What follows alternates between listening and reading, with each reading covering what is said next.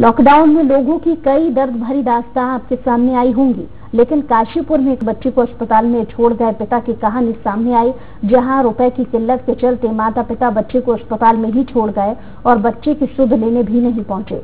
जब पुलिस ने पूछताछ की तो पिता ने दुख भरी कहानी सुना दी। बच्चे के इलाज में अस्पताल का बिल इकतीस हज़ार हो गया जिसे चुकाने की उसकी हैसियत नहीं थी। कर्ज के लिए कई चौखटों पर हाथ भी फैलाने पड़े, लेकिन कहीं से कोई मदद नहीं मिली। पैसे न होने की वजह से माता पिता ने अपने दिल पर पत्थर रखकर रोज कर्ज लेने के लिए दर दर भटकते रहे बच्चे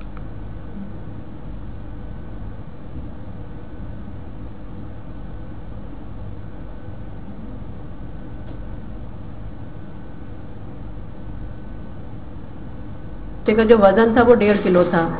कंडीशन बहुत अच्छी नहीं थी। हमारे जो पीडियाट्रिशियन है डॉक्टर आसिफ, उन्होंने उसका ट्रीटमेंट किया और मतलब बच्चे को उस कंडीशन से निकाल के लाए जो जिसमें बच्चा, बचना भी मुश्किल हो रहा था। उसके बाद ट्रीटमेंट करने के बाद थर्ड डे दो दिन तक तो ये लोग आते रहे बच्चे के साथ वाले। थर्ड डे वे लोग नहीं आए। बच्चे को देखने कोई नहीं आया। ना कोई बच्चे का कोई रिलेटिव आया, ना बच्चे का कोई फादर आया, कोई नहीं आया इसको। हम लोग गरीब आदमी रिक्शा रिक्शा चलाने वाले लोग हैं हम लोग। हमारे पल्ले में तो कुछ है नहीं, मकान उकान सब हमारा किराए का है।